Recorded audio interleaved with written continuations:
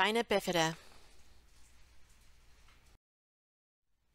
Spina bifida is a congenital defect in which part of the spinal cord, nerves, and its meninges are exposed through a gap in the vertebrae of the spine.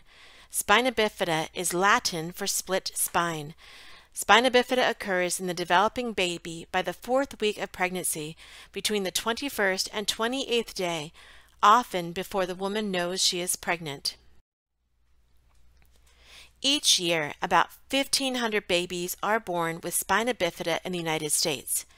This occurs in about 1 in every 2,758 births. Hispanic women have the highest rate of having a child affected by spina bifida when compared with non-Hispanic white and non-Hispanic black women. Females are more likely to have spina bifida than males. The estimated lifetime cost of a care with person with spina bifida is $791,900. There are three types of spina bifida, spina bifida occulta, spina bifida meningocele, and spina bifida myelomeningocele. Spina bifida occulta is the mildest form. A small gap in the spine exists, but the spinal cord and nerves are normal. The child does not have any disabilities related to the spina bifida occulta. Often spina bifida occulta is not discovered until the child is a teenager or an early adult. Sometimes a tuft of hair covers an area in the lower back indicating spina bifida occulta.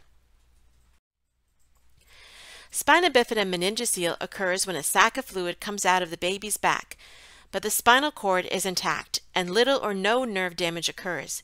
The child may have minor disabilities. The third type is spina bifida myelomeningocele. It is the most common and most serious type of spina bifida. Cerebral spinal fluid, meninges, part of the spinal cord, and the nerves are in the sac that protrudes from the gap in the spinal column. It usually causes major disabilities due to permanent damage to the nerves below the sac.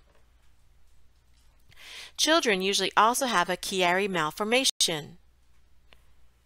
This occurs when part of the brain, the cerebellum, at the back of the skull bulges through a normal opening in the skull where it joins the spinal canal. In spina bifida myelomeningocele, the sac can be closed at birth, which usually occurs if the baby is born through C-section or it is torn open upon either pressure in utero or on delivery. If it is open, it looks like a balloon that burst. An open sac will have more extensive damage, so if a mother knows her child has spina bifida myelomeningocele, she will most likely have a child through cesarean section. There are different ways to diagnose spina bifida myelomeningocele. There are three tests which are done prenatal. The first is the alpha fetoprotein test, which is a blood test that measures if AFP from the baby has passed into the mother's bloodstream. A high level of AFP usually means that the baby has spina bifida and an open sac. The second test is an ultrasound, which may show the sac on the baby's spine. The third is amniocentesis, in which a small sample of the amniotic fluid surrounding the baby in the womb is taken by a needle. The sample tests for AFP in the fluid which can indicate spina bifida myelomeningocele. None of these tests can definitely show a developing baby has spina bifida. If tests did not show it, when the child is born, the closed sac or the open sac will lead to confirmation that the child has spina bifida myelomeningocele. Treatment. The damage to the spinal cord nerves are permanent, but a skilled team of pediatric neurosurgeons must repair the myelomeningocele. If it is discovered in utero, prenatal surgery can be done to close the myelomeningocele. This surgery is dangerous to the baby and the mother. The baby might be born preterm, but it reduces the risk of hydrocephalus and Arnold-Chiari malformation. Without prenatal surgery, children with spina bifida are either born in a children's hospital or taken immediately upon birth to a children's hospital with a team of dedicated pediatricians to perform the life-saving surgery. Surgery must be done within 48 hours after being born to prevent infection, such as meningitis and death. The surgery involves putting the nerves and the spinal cord into the spinal column and covering the area with muscle and tissue. The area is stitched up like a zipper along the spinal column. Often, within a week, 80 to 90% of children with spina bifida myelomeningocele need a second surgery to put a shunt into their brain to treat or prevent hydrocephalus, which is a result of closing the myelomeningocele. Hydrocephalus, often called water on the brain, is caused by extra fluid in and around the brain. The extra fluid can cause the spaces in the brain, called ventricles, to become too large and the head can swell. A shunt is a small, hollow tube that goes from the brain to the stomach and drains the fluid from the baby's brain and protects it from too much pressure on the brain. Additional surgery might be needed to change the shunt as the child grows up, or if the shunt becomes clogged or infected. Spina bifida myelomeningocele causes disabilities. Every case with spina bifida is unique. Myelomeningocele management includes lifelong comprehensive neurological, musculoskeletal, urologic, skin, and rehabilitation management.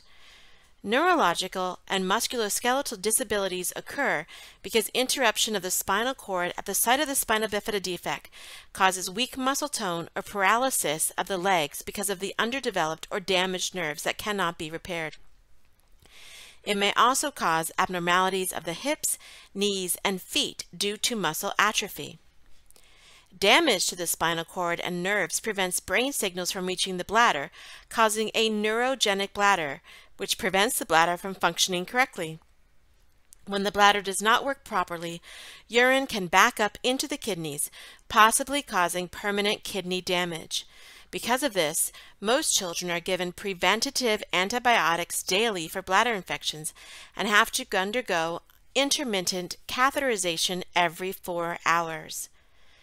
Because of not being able to feel skin areas below the nerve damage, people with spina bifida will suffer from skin anesthesia. They need to be careful if they cannot feel the skin on their feet or legs because burns, cuts, rashes may occur of which they are unaware. They also usually suffer from bowel incontinence, so a strict, healthy diet with fruit, vegetables, and fiber must be observed. Secondary conditions are physical, medical, cognitive, emotional, or psychosocial consequences. For example, because of being in a wheelchair, people with spina bifida may develop pressure sores on their skin, and they may also have brittle bones because of lack of weight-bearing activities. This slide shows the level of the lesion of the spine and the nerves that are impacted. For example, a child with spina bifida myelomeningocele at the S1 level will have no sensation and muscles on the back of their legs, buttocks, and ankles, and very little bowel and bladder control. They may be able to walk with braces, orthotics, or crutches.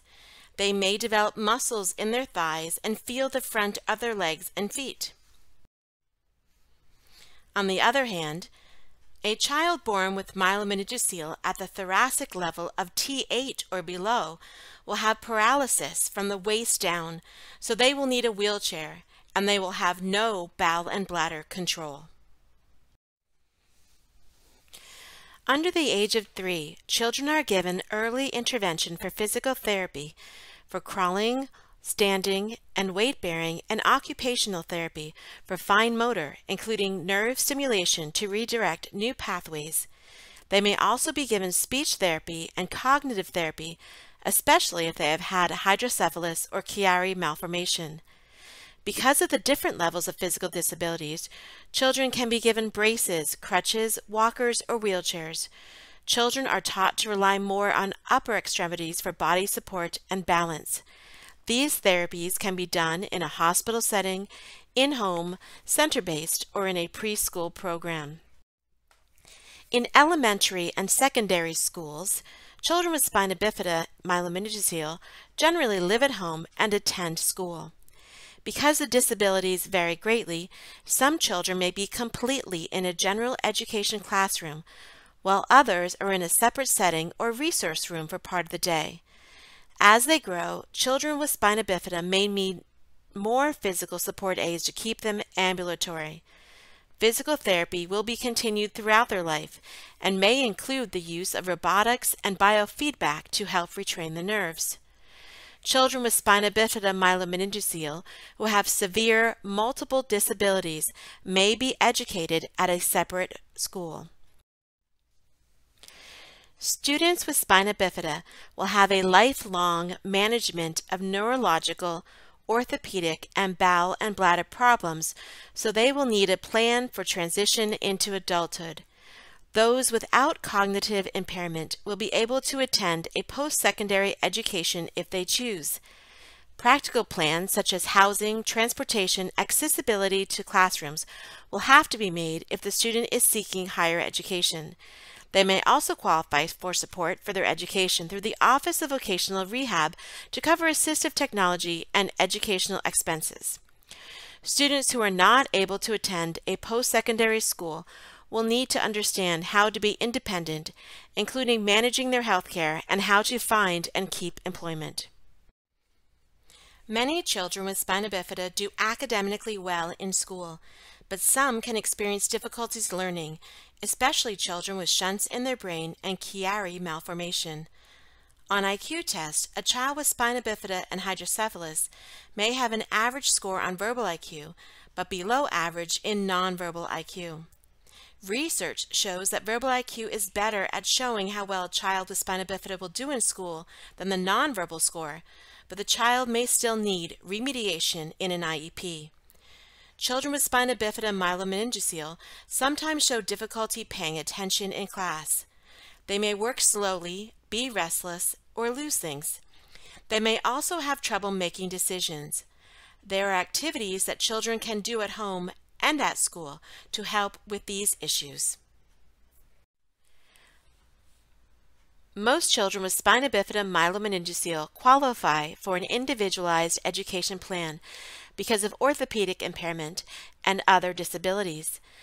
Participation in the IEP can allow these children to develop skills necessary for autonomy into adulthood. Being educated in the general classroom will help them to develop physical, social, and mental skills alongside their peers and to explore interests and hobbies. Related services such as speech, counseling, occupation, and physical therapy can be done in a resource room. Professional staff need to be aware of neurological issues. Students can have normal activities, but avoid activities which could cause spine, head, or neck function injuries. For children with shunts, activities should not hurt proper shunt function, such as hanging upside down or neck twisting. Professional staff should also have to be understanding of absences related to the unique health problems such as pressure sores, bladder infections, and spina bifida clinic visits. Teachers need to be aware of accommodations for physical access to classroom and instructional materials. If a child's in a wheelchair, he or she will not be able to reach the top of shelves to get materials that might be needed. Students with spina bifida will also need an adaptive gym because they will not be able to perform regular gym activities due to neuromuscular disabilities. Children should be allowed easy access to the bathroom or nurse, such as having a personal hallway pass.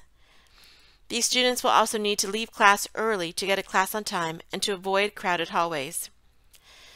Other accommodations are adjustments made to educational assessments or testing, especially high-stakes testings. These students might need additional time, computers, and calculators during the assessments. Some students may have significant or multiple disabilities. These students may need a paraprofessional to accompany them at all times. Assistive technology. Children will need orthopedics such as orthotics, braces, crutches, wheelchairs to be ambulatory. Depending on the level of myelomeningocele, Students may need classroom computers or other technology tools, listening or speaking devices, or personal aids.